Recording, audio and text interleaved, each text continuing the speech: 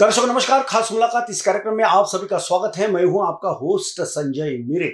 दर्शकों, आज इन विसिट के स्टूडियो में एक ऐसी पर्सनैलिटी आई है जिन्होंने 4045 किलोमीटर का पूरे भारत वर्ष और कई प्रांतों को, राज्यों को उन्होंने भ्रमण करके वे आज यहाँ पे आए हुए हैं। ऐसी जो पर्सनैलिटी इस समय में हमारे साथ में इन विषय के खास मुलाकात इस कार्यक्रम में आई हुई है। इनका नाम है श्री अतुल चौकसे जी। अतुल चौकसे साहब के बारे में मैं तमाम जानकारी दर्शकों को देने वाला हूँ, लेकिन मैं आपको पहले बता दूँ कि जिसे कुछ कर गुजरने की ख्वाहिश होती है, यकीनन वे कामयाब होते हैं। पैदल चलना ये बड़ी आसान बात है, लेकिन जब सही मायने में कई हज़ारों किलोमीटर तक जब हम पैदल चलते हैं तो वो भी एक टेढ़ी खीर साबित होती है। पैदल चलना और वो भी हज़ारों किलोमीटर, क्या तकलीफें आई होगी? कैसे रहा उनका अनुभव? ये तमाम बातें हम आज के हमारे मेहमान अतुल चौक से साहब से ज़रूर जानना चाहेंगे, लेकिन दर्शकों, खास मुलाकात ये कार्यक्रम की हमारी ये परंपरा है, होती है कि आए हुए मेहमानों का हम परिचय करवाते हैं। तो दर्शकों, सबसे पहले मैं आपको आज के हमारे मेहमान अतुल चौक से साहब के बारे में मैं बता देना चाहता हूँ कि अतुल जी अतुल जी इनका जो रहना है, वे चंदन नगर, दक्षिण नागपुर के अंतर्गत आने वाले चंदन नगर मेडिकल निवासी अंतरराष्ट्रीय अल्ट्रा मैराथन धावक अतुल कुमार चौक से आज यहाँ पे आए हुए हैं, जिन्होंने 180 किलो के लगेज के साथ, बहुत बड़ी बात होती है 180 किलो के लगेज के साथ में वे 4400 किलोमीटर की गंगा की जो यात्रा है पूरी कर देश भर में गंगा को प्रदूषण मुक्त बनाने के लिए और हर किसी को जो डिप्रेशन में आता है, उन्हें डिप्रेशन से मुक्त कर, खुशहाल से जीने के लिए लोगों को जागरूक आप अतुल चौकसे साहब आपने किया है। दर्शकों, इतने नहीं तो सर, आपने चाहे उत्तराखंड हो, उत्तर प्रदेश हो, बिहार हो, झारखंड हो, या हो फिर वेस्ट बंगाल, आदि राज्यों में भी आप पैदल चलकर जन जागृति करते हुए आप नागपुर पहुँचे हैं, ये सबसे हमारे लिए सौभाग्य की बात है। इतने नहीं तो अतुल कुमार जी, आपने सिविल लाइन स्थित रामगिरी परिसर से, पढ़ेगा इंडिया तो बढ़ेगा इंडिया के संदेश के साथ। 333 किलोमीटर रनिंग का अनूठा अभियान भी आपने आरंभ किया था, जो पूरी तरह से सफल रहा है। तो दर्शकों, यह था दक्षिण नागपुर के अंतर्गत आने वाले चंदन नगर मेडिकल निवासी, अंतरराष्ट्रीय अल्ट्रा मैराथन धावक अतुल कुमार चौकसे जी, ये इनका परिचय था।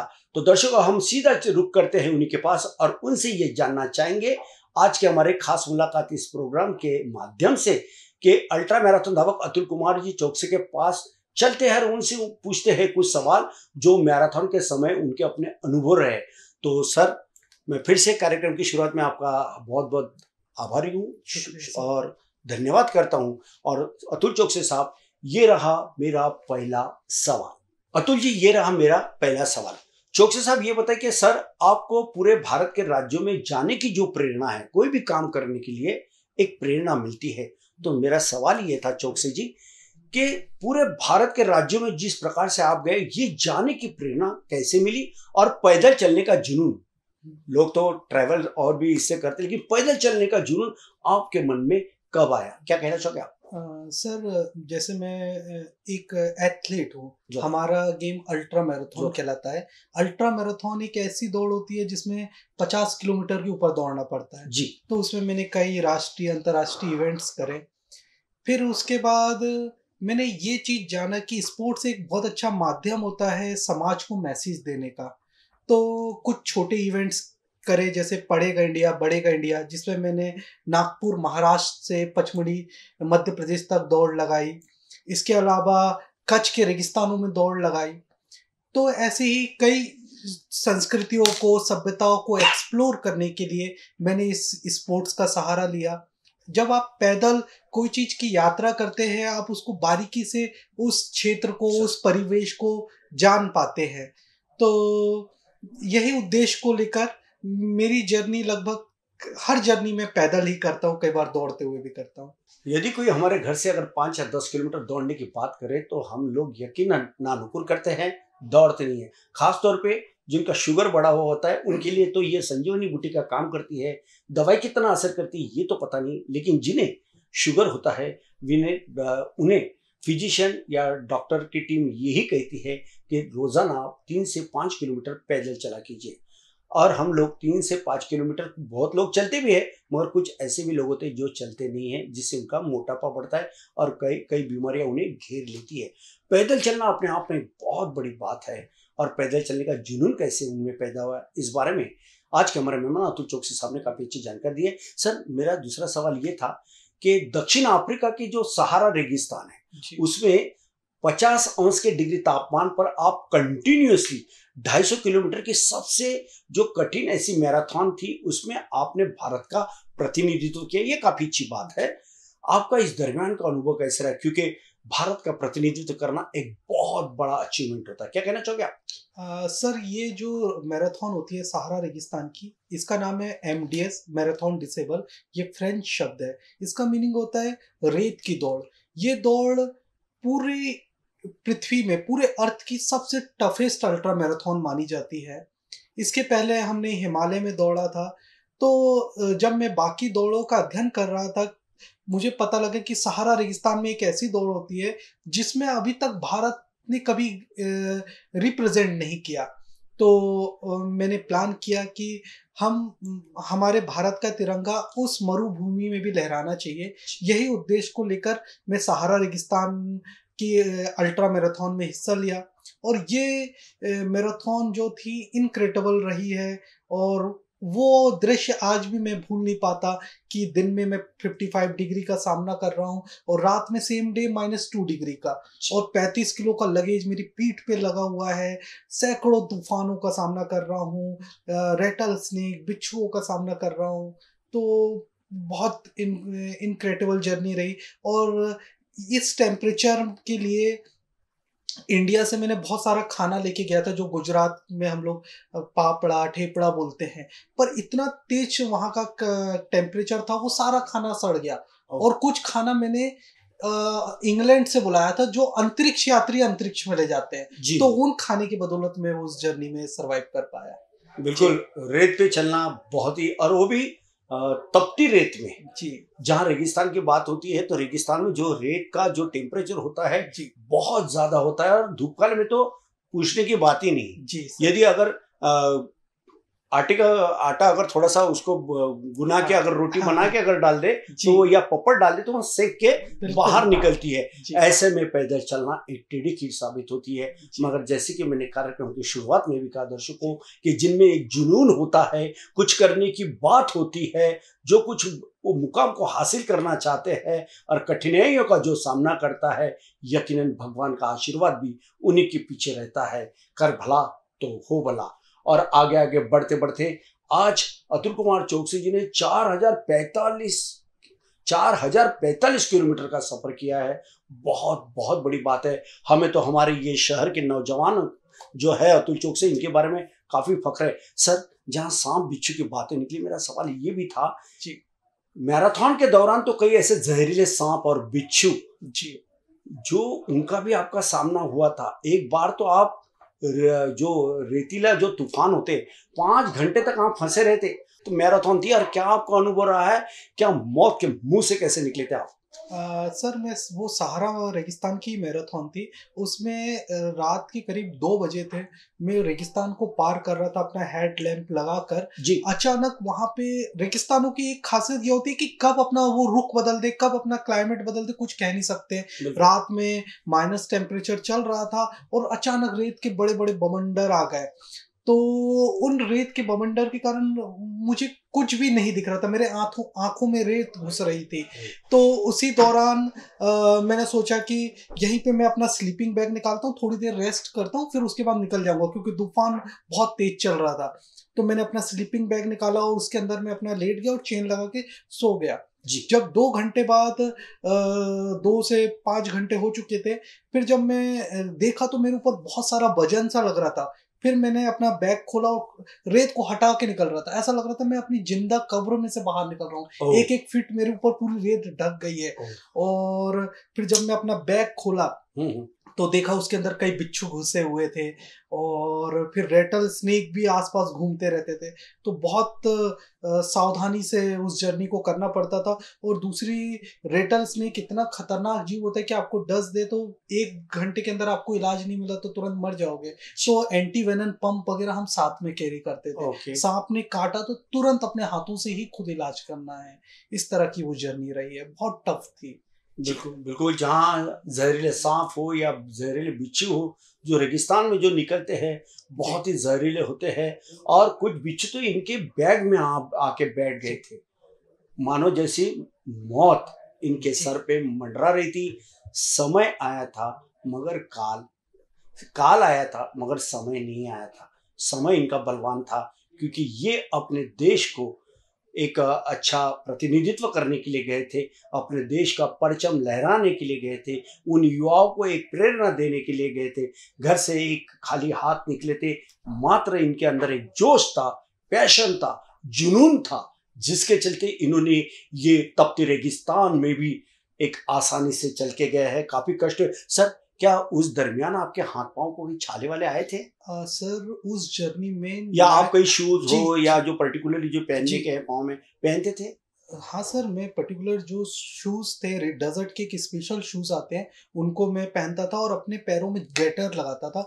वो गेटर ये काम करते थे कि आपके पैरों के अंदर रेत नहीं जाती थी। जी। इस जर्नी में 95 परसेंट लोगों के पैर पूरे खराब हो चुके थे खून से लथपथ बह रहे थे और मेरा भी हुआ था पर मेरा उतना ज़्यादा डैमेज नहीं हुआ था क्योंकि मैं आपको बताऊँ कि इस जर्नी के लिए इस इवेंट के लिए मैं मई के महीने में कन्हान नदी में जाके प्रैक्टिस करता था दोपहर में जाके। नंगे पाँव रेत में दौड़ता था क्योंकि अपने इधर रेतीला रेगिस्तान तो है नहीं तो रेत कहाँ मिलेगी? तो मैं कामटी के पास कन्हान नदी में जाता था और दिन में वहाँ ट्रेनिंग करता था। तो मेरे जो स्किन का सोल था बहुत स्ट्रांग हो गया था। उसका फ़ायदा मेरे को वो उस जर्नी में मिला था। जी। बिल्कुल बहुत ही हार्ड वर्कर थे सर। क्योंकि जैसे इन्होंने कहा कि मैं जब रेगिस्तान के रेत पे जब चलना चाहा तो उसके लिए मुझे अनुभव की ज़रूरत थी। मेरे पाँव को, मेरे मन को मज़बूत करना था। इसीलिए ये शहर के कनान नदी के तट पे जाया करते थे। कनान नदी जहाँ फैली हुई है, उस रेत में, चाहे ठंड रेत हो या गर्म हो, इसके ऊपर में चले और इन्होंने जो प्रैक्टिस किया, अपने आप को मज़बूत किया, अपने पाँव को इतने मज़बूत किया कि रेगिस्तान की रेत भी इनके पाँव को कुछ न कर पाई क्योंकि इनके हौसले बुलंद थे। सर जहाँ तापमान की बात आती है आज शहर में पैतालीस चालीस चौवालीस डिग्री का जब तापमान होता है लोग एसी डेजर्ट कूलर कई प्रकार के लोग अपने अपने उपकरण लगाते हैं कि ठंडी हवाएँ आना चाहिए। मगर जो रेगिस्तान में 50 से 55 डिग्री के तापमान में चलने की कल्पना भर से इंसान घबराने लगता है लेकिन आपने सहारा रेगिस्तान में तिरंगा फहराने का जो साहसिक निर्णय लिया था और आपने वो करके भी दिखाया था वो कैसे रहा? सर जब मैं वो डेजर्ट को पार कर रहा था कई बार जैसे आप तूफानों का सामना कर रहे हैं आपके पास जो राशन है वो लिमिटेड है आपके पास लिमिटेड पानी है तो कहीं ना कहीं आपकी हिम्मत भी टूटती है। पर जब मेरे पास जो तिरंगा था जो मेरे बैग में लगा हुआ था जब मैं देखता था ऑटोमेटिक एक जोश आ जाता था नहीं ये मैं नहीं दौड़ रहा हूँ मेरा देश दौड़ रहा है। क्या? तो मेरा देश झुकना नहीं चाहिए। वो मेरे को बार बार जोश भर देता था। कई बार सर मैं दो दो तीन तीन दिन भूखा रहा और पानी भी बहुत कम था उसको देख देख के मैं बचाता था पानी कैसे सरवाइव करना है। पर मुझे वो जब तिरंगा देखता था नहीं नहीं यहाँ मैं थोड़ी दौड़ रहा हूँ मेरा पूरा देश दौड़ रहा है। उनको मैं निराश नहीं करूँगा इसलिए मैं कंटिन्यू डटा रहा। बिल्कुल सर की बातें जब सुना हमने अतुल चौक से साहब की जो कि अल्ट्रा मैराथन धावक है जो अपने अनुभव बता रहे थे हमारे तो रोंगटे खड़े हो गए। क्योंकि तिरंगा के सामने में एक उसका जो स्वाभिमान है वो एक अभिमान है और देश के प्रति जो कुछ करने का जो चाहत है जो मादा है और जो पूरे शिद्दत से इन्होंने किया है जैसे कि अतुल जी आपने कहा है कि खाने का पर्याप्त साधन नहीं था। जो पानी था ऐसे तुफीले ऐसे जो तूफ़ान भरे रेगिस्तान में जब पानी पीने की बात आती थी तो पानी भी आप बचा बचा के पीते थे मगर पानी भी भला ही कम हो लेकिन आपके सामने में जो टारगेट था और जो आपके साथ जो ताकत बनी थी वो था आपका तिरंगा। हम सब लोगों का हमारे पूरे भारतवासियों का हमारे देश का जो तिरंगा था उससे कहीं आपको प्रेरणा मिली और तब कहीं जाकर आपने खुद को उस प्रकार से ढाला। यानी दर्शकों, इससे एक बात साफ़ ज़ाहिर होती है कि देश के बॉर्डर पे जो सैनिक जो लड़ते हैं, वो अपने परिवार को छोड़ के आते हैं। अपना सब जो सुखद जीवन है, उसको अलग साइड में रखते हैं। क्यों?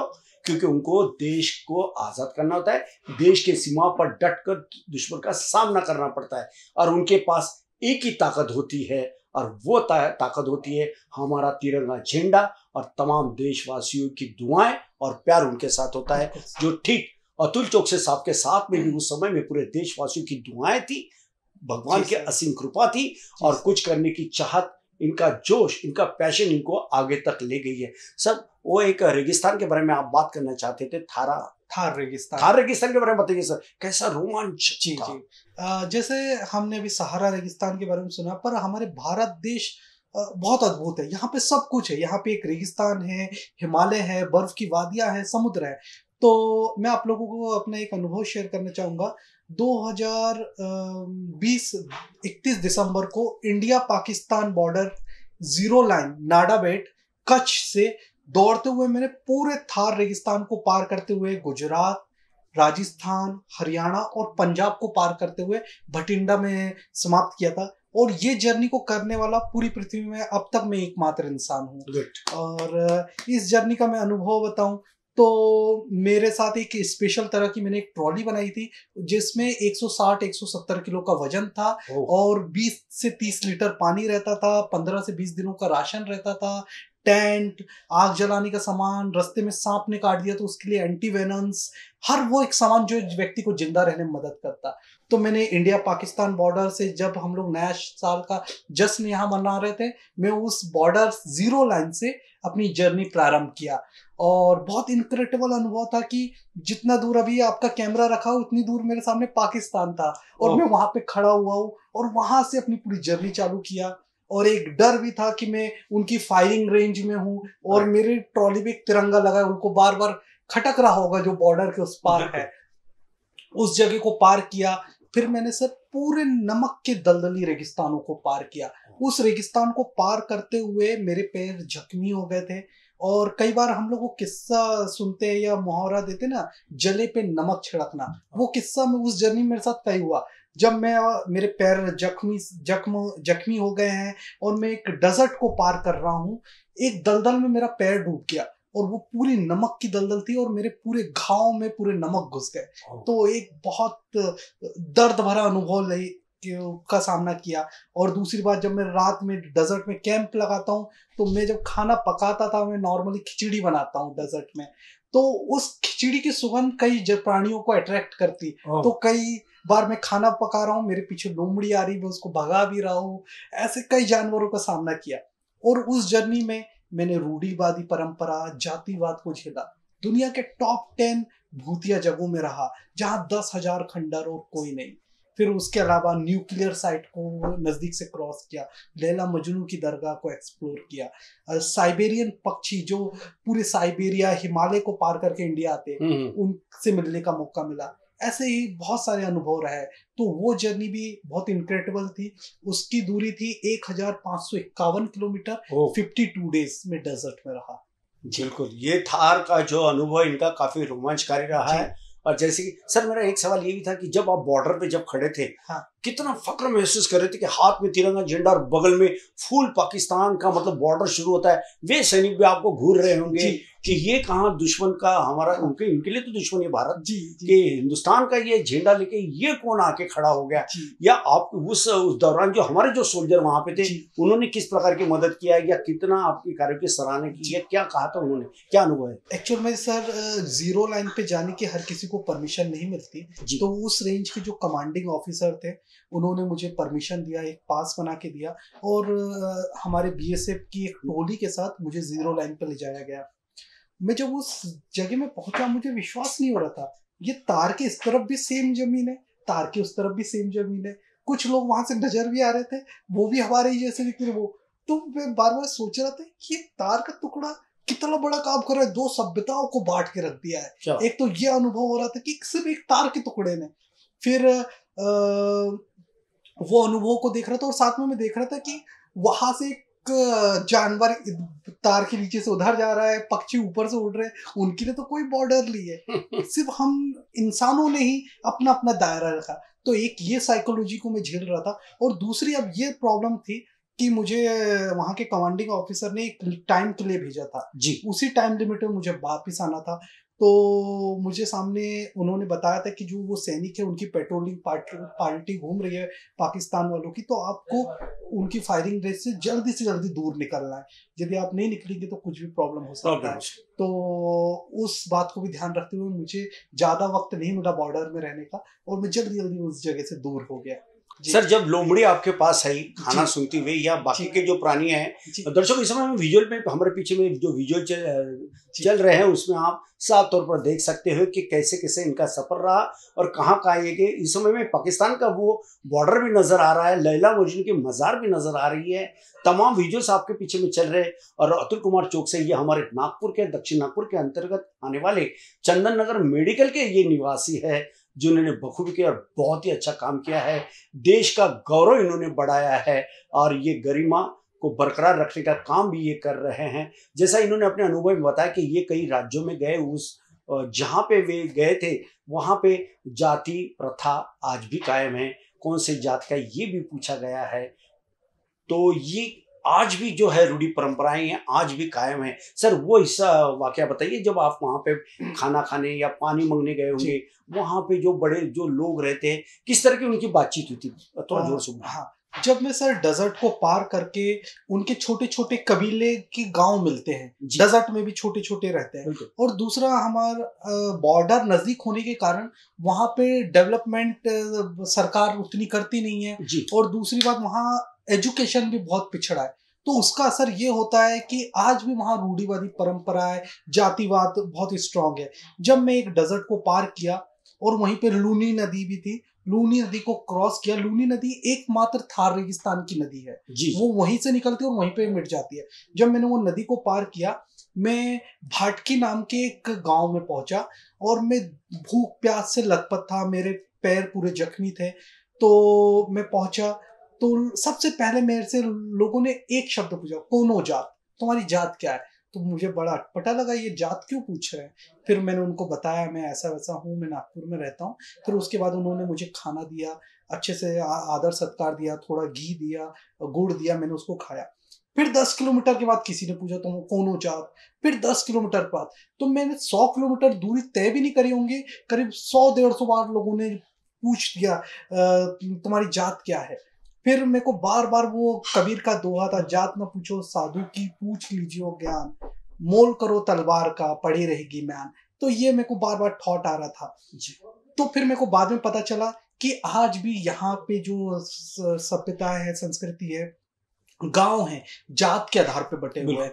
मेघवालों के गाँव राणाओं के गाँव पुरोहितों के गाँव कई बार मैं उनको ताने मारता था इंसानों का गाँव कहाँ है? तुमने तो सब जात के गाँव बना के रखे हैं। तो ये आज भी स्ट्रांग है। वहाँ पे जात के आधार पे लोगों के घर के बर्तन डिवाइड है और एक जात का व्यक्ति उस जात के व्यक्तियों के साथ नहीं जा सकता। लेकिन सर ये भी देखने में आया होगा कि जहाँ तिरंगा आपके साथ में था भले लोग जात पूछे लेकिन जब तिरंगा देखने के बाद उनका भी दिल कहीं ना कहीं मतलब देश के तरफ़ देखते हुए वो बात भी उनके दिल से नहीं निकलती होंगी। आपको सहयोग किया होगा। हाँ सर जब मैं उस जगह से गुजरता था तो लोगों को ये तो लगता था कि हाँ ये कोई व्यक्ति है जो यात्रा कर रहा है। तो वो मुझे और मेरे साथ जो लगेज था वो बहुत अट्रैक्शन का कारण बन गया था लोगों का। लोग आते थे जब मेरे से बात करते थे तो अपने दिलों में और अपने घरों में भी जगह देते थे। तो ये तिरंगा ही है जो सारी सभ्यताओं को जोड़ के रखा है। हम विभिन्नताओं में भी एक है। बिल्कुल बिल्कुल बिल्कुल।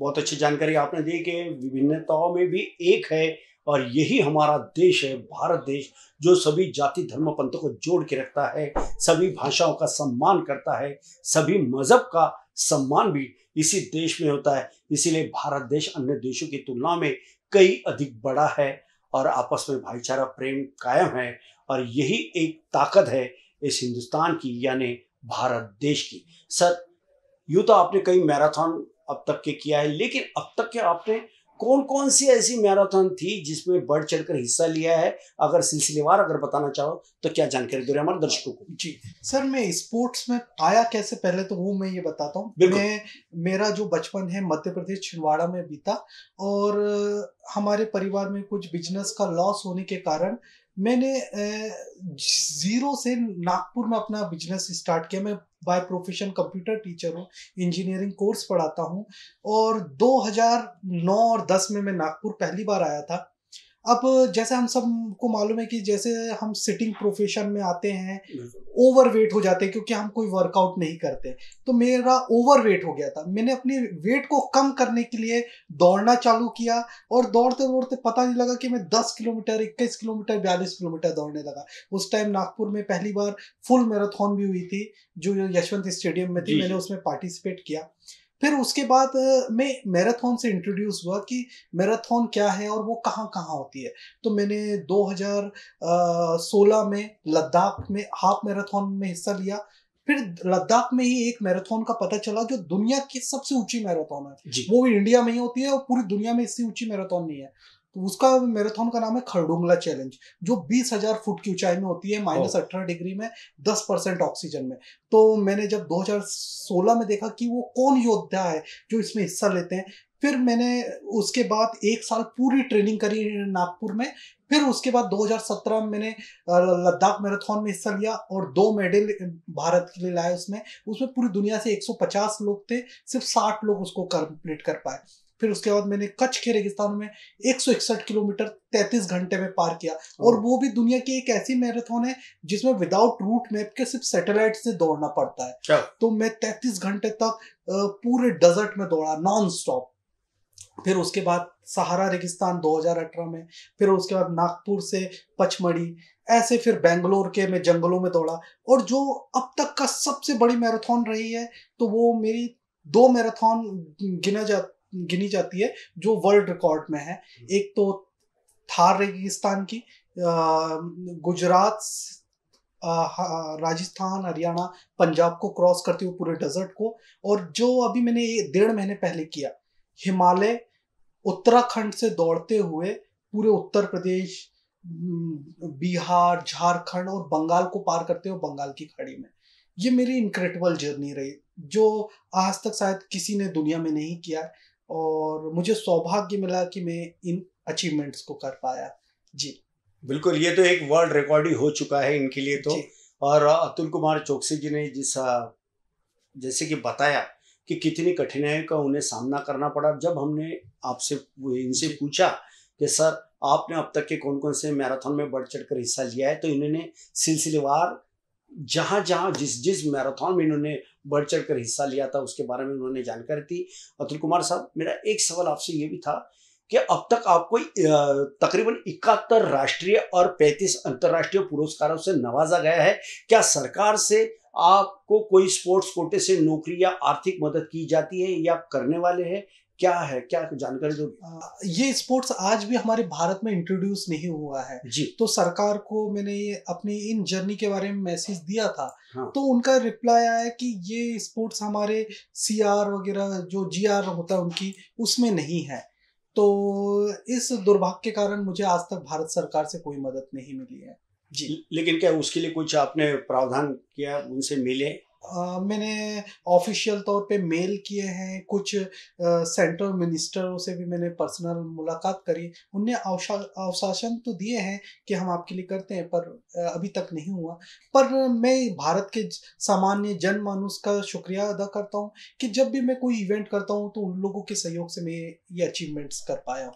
बिल्कुल अतुल जी और हम आपको अश्योर करते हैं कि इस कार्यक्रम के माध्यम से हम ज़रूर केंद्र सरकार से भी ये बात उनके नज़रों में लाके देंगे कि अतुल कुमार चौक से एक ऐसा बंदा जिसने चार हज़ार पैंतालीस किलोमीटर का पूरा मैराथन बढ़ चढ़ कर हिस्सा लिया है देश का परचम लड़ा है देश के लिए वो आदमी लड़ा है। अगर आप चाहते हो आप और होना ही चाहिए ये सरकार का भी अपना एक दायित्व है कि ऐसे देश के हमारे जो हीरे होते हैं उनके लिए उनकी उनकी परख उन्हें होना चाहिए और इन्हें भी रोज़गार के मार्ग जो है प्रशस्त करना चाहिए और इनको आर्थिक ज़रूर मदद करना चाहिए, क्योंकि ये मात्र अतुल कुमार चौक से इनकी बात नहीं है। ऐसे आने वाले भविष्य में हज़ारों अतुल चौक से निर्माण होंगे और हर किसी को सरकार ने नौकरी देना उतने ही ज़रूरी है, क्योंकि अच्छे लोगों को यदि नौकरी आप दोगे और स्पोर्ट्स कोटे से अगर आप देना चाहो तो ज़रूर दे सकते हैं क्योंकि इन्होंने काफ़ी मेल भी किया है। और अतुल कुमार जी हम ज़रूर क्या है जो केंद्रीय मिनिस्टर है या सेंटर के जो बड़े बड़े जो अधिकारी हैं जो वहाँ के सेक्रेटरी प्रधान सचिव जो है या मंत्री है जी। हो सके तो हम प्राइम मिनिस्टर से भी इस विषय में हमारे चैनल के माध्यम से ज़रूर बात करवाएँगे और। उनके समक्ष ये ज़रूर बात रखेंगे कि अतुल कुमार चौकसी जी ने भी काफ़ी कोशिश की है। आपका भी काम है कि इन्हें जल्द से जल्द रोज़गार मुहैया करवाए या कहीं भी बहुत जो एनजीओ होते हैं उन्होंने भी मदद करना चाहिए। सर ये तो आपके बारे में क्योंकि आप फुल फिट हो आपका तंदुरुस्त शरीर है आप काफ़ी मेहनत किए दौड़े हैं, सब है। लेकिन सर आज की इस भागदौड़ भरी ज़िंदगी में हर कोई तनाव में दिखता है। जी। बहुत से लोग जीवन में ना प्राणायाम करते हैं ना योगा करते हैं ना दौड़ लगाते हैं ना इतना ही नहीं तो सुबह पैदल चलना चलते भी नहीं है। जी। बहुत कुछ कम लोग चलते हैं मगर अधिकतर तो लोग चलते नहीं है जिससे जो रोग प्रतिकार शक्ति उनकी कम हो रही है और व्याधियाँ उनकी जो बढ़ रही हैं। ऐसे में कितना फ़ायदा फ़ायदेमंद साबित हो सकता है सुबह का पैदल चलना? क्योंकि पैदल चलने के ऊपर में आज की पूरी थीम है। तो पैदल चलने का कितना इंपॉर्टेंट है ये बताइए हमारे दर्शकों बहुत सारी बीमारियाँ नई नई बीमारियाँ आती जा रही है। ये सब हमारे आलस और हमारी लापरवाही के कारण हो रहा है। लोगों के बहुत सारे एक्सक्यूज रहते हैं। मेरे पास टाइम नहीं है तो मैं कैसे जिम जाऊँ या मैं योगा कैसे करूँ या रनिंग कैसे करूँ? आप लोग ने अभी देखा था कि अभी डेढ़ दो साल पहले कोविड का अचानक लॉकडाउन हुआ था। उस टाइम भी लोग एक्सक्यूज बताते थे कि हम घर में रह के तो कर नहीं सकते। तो मैं आपको बताना चाहूँगा मैंने अपने घर के तीन कमरे में इक्यावन किलोमीटर की रनिंग करी थी और उसको बहुत सारे लोगों ने देखा था। ये मैंने इसलिए करी थी क्योंकि लोग एक्सक्यूज दे रहे थे कि हमको मॉर्निंग वॉक के लिए खुले में जाना पड़ेगा, हमें तो गार्डन में जाना पड़ेगा, उस टाइम लॉकडाउन लगा हुआ था। लोग फॉलो नहीं कर रहे थे। तो लॉकडाउन को फॉलो करने के लिए मैंने उनको एक मैसेज दिया था। तो आप लोगों को मैं यही कहना चाहूँगा कि आप फिजिकली कोई भी एक्सरसाइज करते हैं योगा करते हैं या रनिंग करते हैं या वॉकिंग करते हैं वो आपको फिजिकली तौर पे स्ट्रांग नहीं करता मेंटली तौर पे भी आपको स्ट्रांग करता है। क्योंकि आप जब दो घंटे तक मैराथन में डटे रहते हैं तो आपका फोकस स्ट्रांग होता है आप मेंटली बहुत ज़्यादा स्ट्रांग बनते जाएँगे। और आज के बच्चों का आप देख रहे हैं कि मोबाइल और टेक्नोलॉजी जैसे जैसे डेवलप हो रही है वो अपनी लाइफ में कहीं ना कहीं कमज़ोर होते जा रहे हैं। आज के बच्चे की बात करें तो बचपन में वो पैदा होते नहीं, उनके चश्मे लग जाते हैं। बच्चों को भी शुगर जैसी बीमारी होने लग गई है। तो ये सब जो पहले के टाइम में बच्चे गाँव में रहते थे खेल कूद करते थे तो वो फिजिकली फिट रहते थे। तो आज मैं सभी से यही रिक्वेस्ट करूँगा कि आप अपने आप को मेंटली और फिजिकली फिट रखना चाहते हैं तो कम से कम घर में 25 से 30 मिनट आप योगा कर सकते हैं या आप वॉकिंग कर सकते हैं साइकिलिंग कर सकते हैं और रनिंग कर सकते हैं। और इससे आप थकेंगे नहीं, बल्कि आप दिन भर एक तंदुरुस्त और एक चुस्ती बनी रहेगी। जी सर। तो और मैं युवाओं को यही मैसेज देना चाहूँगा लाइफ में कितने भी मुश्किल हालात क्यों ना हो, अपनी कदर करो। तुमसे ज़्यादा महत्वपूर्ण कुछ नहीं है। तो अपनी जीवन में अपनी जीवन की अहमियत को समझो लाइफ को होश पूर्वक जियो और लाइफ में कितने भी मुश्किल हालात क्यों ना हो आ, उसका डट कर और होश पूर्वक सामना करो। आप महत्वपूर्ण हो आपसे ज़्यादा महत्वपूर्ण कुछ नहीं है। और मैं इन बी सी एन न्यूज़ का बहुत बहुत शुक्रिया अदा करना चाहूँगा संजय सर का इमरान शेख सर का जिन्होंने मेरी बात आप इस चैनल के माध्यम से आप लोगों तक लाई।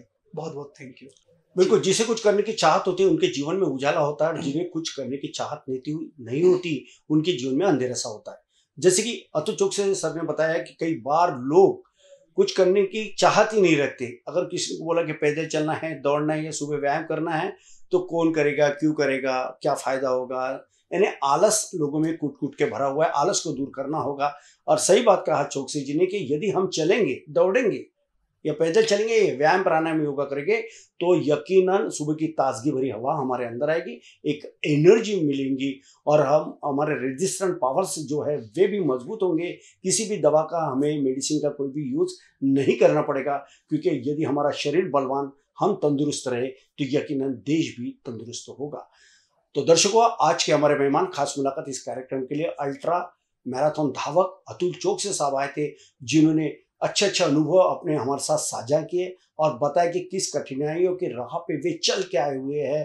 अतुल जी मेरा जाते जाते आखिरी का सवाल यही है सर आज आपने जिस प्रकार से ये जो मैराथन पूरा करके आए हज़ारों किलोमीटर आप दौड़ के चार हज़ार पैंतालीस और उससे भी ज़्यादा और भविष्य में भविष्य में भी आपका कोई और जाने का कोई प्लान है क्या? ये मेरा एक सवाल। और दूसरा मेरा सवाल ये है कि सर उधर से आने के बाद कोई एकेडमी खोलूँगे क्या? अगर कुछ बच्चे आपके पदचिन्हों पे चलना चाहते हैं तो उन्हें मार्गदर्शन के लिए कोई अकादमी एकेडमी आप या स्कूल संस्था खोलने वाले हो क्या? आ, सर जैसे देखिए अभी हम जो भी इवेंट करते हैं एक सामाजिक मुद्दे को लेके करते हैं। जैसे अभी हमने चार हज़ार चालीस किलोमीटर की जो जर्नी करी थी गंगा के उद्गम स्थल से गंगा जहाँ पे विलीन होती है सागर में वहाँ तक की।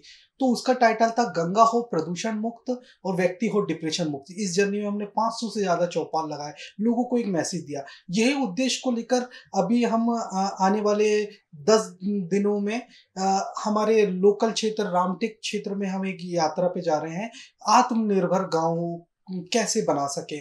ऐसे ही उद्देश्यों को लेकर हम समय समय पर कोई ना कोई अपना अभियान चलाते रहते हैं।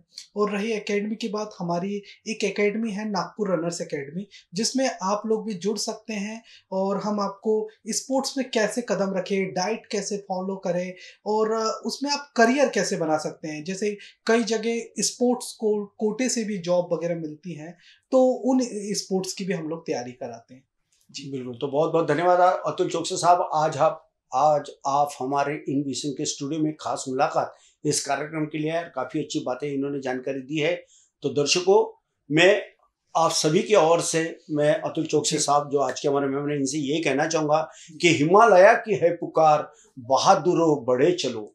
हिमालय की है पुकार बहादुरो बड़े चलो बड़े चलो बड़े चलो आगे सबसे हो चलो। बहुत बहुत शुक्रिया। आज आप हमारे चैनल में आए और जो हमारे दर्शकों के लिए काफ़ी अच्छा समय आज आपने दिया जो बातें अच्छी साझा की उनसे। इसलिए मैं फिर से एक बार इन विषयों के खास मुलाकात इस कार्यक्रम के माध्यम से आपका बहुत बहुत शुक्रगुजार हूँ।